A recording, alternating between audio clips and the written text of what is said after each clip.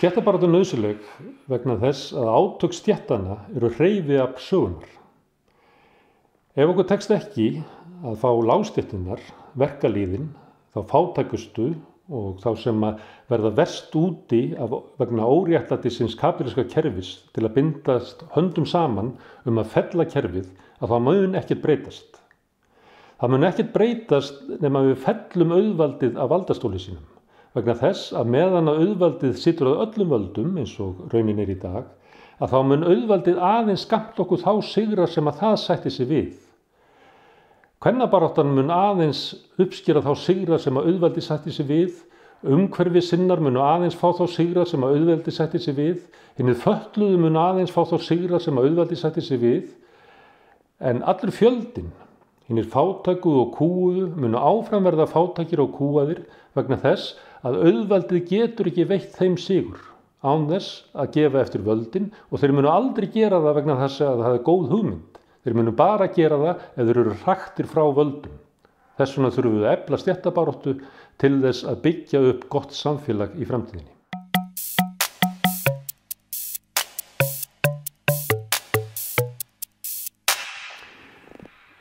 Nýfrjálsíkjan er ekki bara efnastefna, heldur er nýfrjálsíkja líka breytt manngildisumund sem kom fram svona kringu 1980 og hún fólst í því að okkur væri ómúlegt að berjast fyrir annara manna hag. E, Nýfrjálsíkjumenn grófu undan trú okkar á óbyrri starfsmöður að vera að vinna fyrir okkur og sagðu að hann væri, gæti ekki unnið fyrir aðra en sjálfa sig og sama með verkefliðsfélagin. Hver getur unnið fyrir hagsmunni annara? Fólk er alltaf að hugsa um raskata á sjálfum sér. Þetta er grundvallar atrið í nýjfrálsvíkinni. Okkur sé ómúlegt að hugsa um annara hag, við hugsaum bara um raskata á sjálfum okkur og ef allir gera það á frjálsum markaði þá munir rýsa upp á mill okkar stórkostlegt samfélag. Þetta gerist ekki.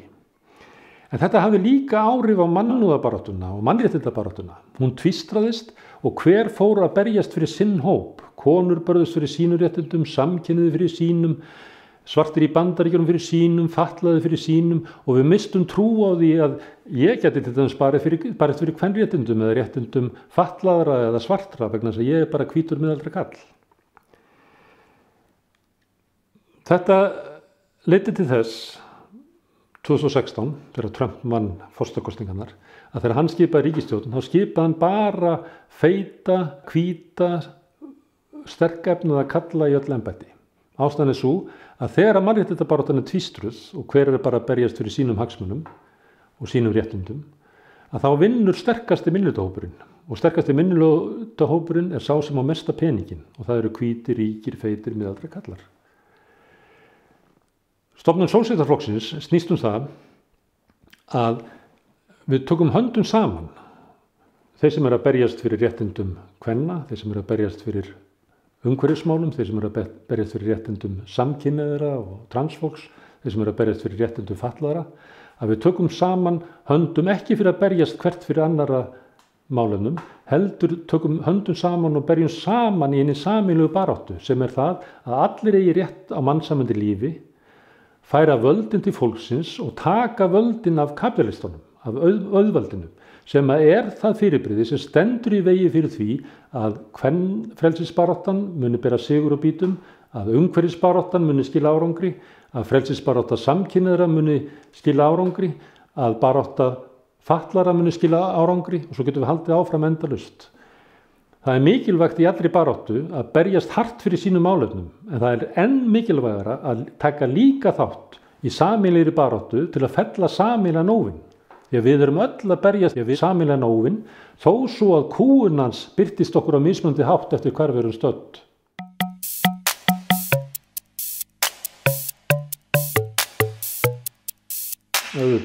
Stalin var engin anskota sósilisti, hann var einræðisherra sem að náði tökum á valdabatteri í Rúslandi og þjóstnaðist á þjóðsynni. Sósialismi er fyrst og næst hugsun og við erum ekki bundin af arfi sögunar, við þurfum ekki að gera eins og hefur verið gert og við berum ekki byrðar sögunar á þeim sem hafa klingt á sig nafni sósialismans. Sósialism er hugsun sem að hver kynslu ber ábyrð á að framkalla inn í sinn tíma og það er okkar þraut Hvernig getum við framkallað hugsun sósjáleismanns um samkend, jöfnuð og mannhelgi þannig að nýti sem best okkar tíma?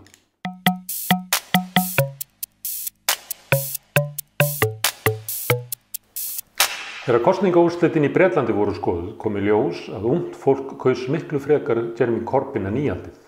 En eldra fólk og sérstaklega ellilífiristegar kausu íhaldið miklu frekar en verkefnaflokkinu.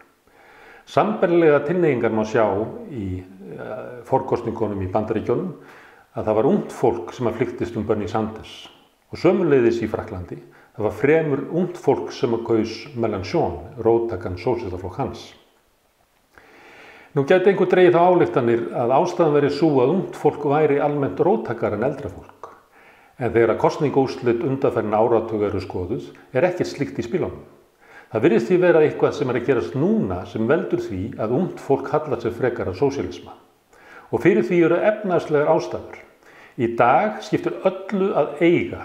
Sá sem á ekki en skuldar er ítlasettur en sá sem á eitthvað, því að fyrir bara lítið eigið fjö í eigin húsnaði, hann er skársettur.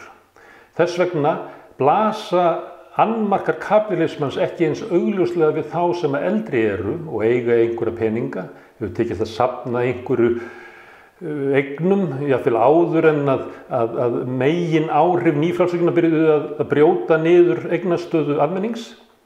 Það er allt önnur staða heldur en að vera ungur og eignalös og skulda mikið.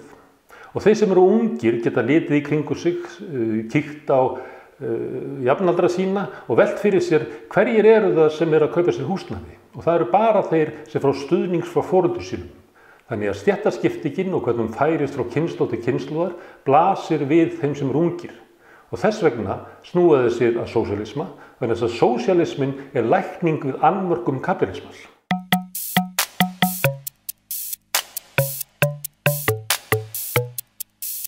Nýfrálsökjumenn halda því fram að það stríði gegn eðli mannsins að vinna saman, að byggja upp samfélag á samkjönd vegna þess að maðurinn sé eðli sínu eigingjant dýr. Þess vegna ber okkur að láta allar meginreglur samfélagsins snúast um þetta eðli mannsins að hugsa fyrst og fremst um sjálfa sig. Og ef við leifum öllum að hugsa um sjálfa sig, berjast fyrir eigin hagsmunum, þá munir mögulega rýsa upp á millum okkar gott samfélag. Þetta gekk náttúrulega ekki upp. Ef samfélag er ekki byggt upp á samkjönd og samvinnu fólks, þá verður það barbarist. Valið stendur því í stórum dráttum á milli barbarisman ífjálfsaukinar sem að brítu niður samfélag millir manna og sósialismans sem að byggjur upp samfélag millir manna. Og ástæðin er svo að maðurinn, þótt hann getur verið eigingjart, er líka hópdýr og kannski fyrst og fremst hópdýr. Stæðstu afreik mannkinsins hefur hann unnið í hópvinnu Það sem að maðurinn sjálfur er ekki sterkur og öflugur einn og sér. Hann er ekki sterkar en fýllin eða fljótari en blettatígurinn en hann er betri í því að vinna í hóp heldur nokkurt annað dýr. Þess vegna er eðli mannsins fyrst og fremst hópsamvinna, að vinna saman, að finna til samkjöndar, að geta afreikað eitthvað í hóp. Að því leiti má segja eins og svo að sósialismin séu fullkomnu samræmi við eðli mannsins.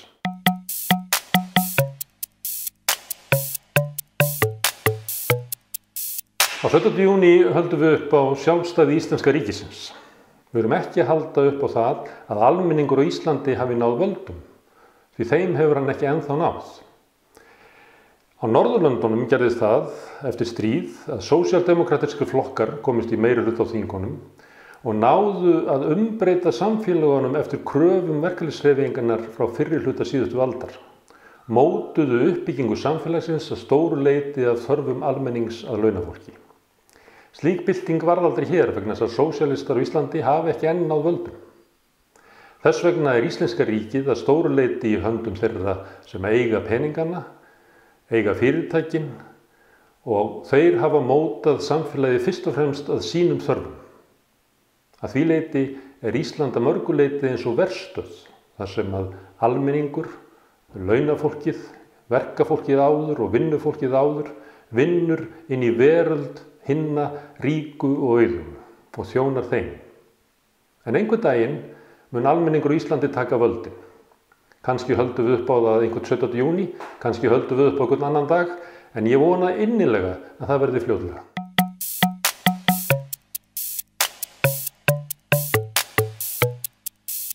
Nei, hinn fátæki ber ekki ábyrð á fátæksinni. Fátækt er félagslegt vandamál sem leggst á hinn fátækka og sviftir hann tækifærum í lífinu. Það er á okkar ábyrð að lifta fátæktinni af hinnum fátækka og gefa honum sömu tækifæri og við njótum sjálf. Við hefum ekki að álæsa hinn fátaka fyrir fátat sína, þá erum við að taka upp orðfæri nýrfrjálsvíkunar sem að upphefur ríka og heldur í fram að hans er ríkur fyrir eigin veruleika og verður þar að leiðandi að smána hinn fátaka og saka hann sjálfan um fátakt sína. Við höfum ekki að taka þátt í því, heldur eigum við að lifta fátaktinni af hinn um fátæku og bjóða öllum mönnum jöfn tækifæri í samfélaginu.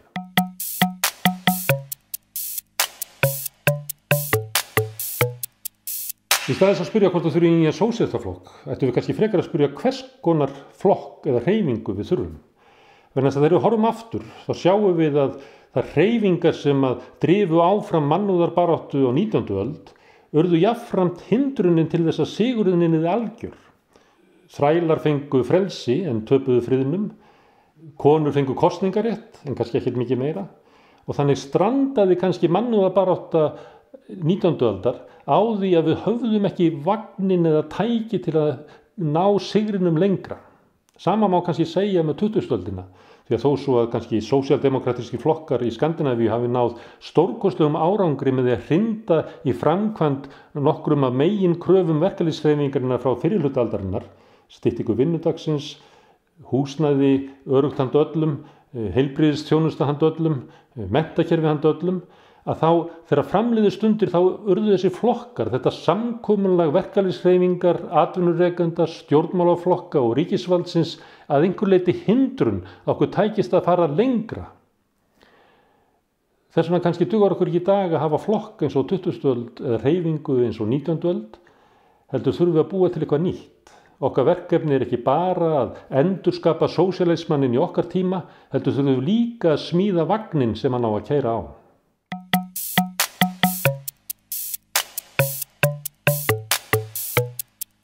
Í sjálfum sér væri bæði gott og gaman að hafa bæði Bernie Sanders og Jeremy Corbyn á Íslandi til þess að leiða baráttu hinn að kúuðu gegn kúrum sínum.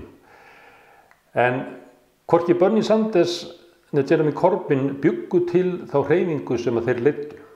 Hreyfingin var til út af raunverulegum ástæðum, út af vaksandi mismunum í samfélagi, út af vaksandi mun millir stjætta, út af vaksandi mun millir kynnslóða og það er þessi gjá sem er að myndast á milli fólks sem að skapaði þó hreyfingu sem að þeir hafa leitt. Það sem okkur vantar á Íslandi er slík hreyfing. Þegar slík hreyfing hefur orðið til, þá munu fórustumenn hennar verða til. Það fórustumenn bú ekki til hreyfinguna, heldur býr hreyfingin til fórustuna.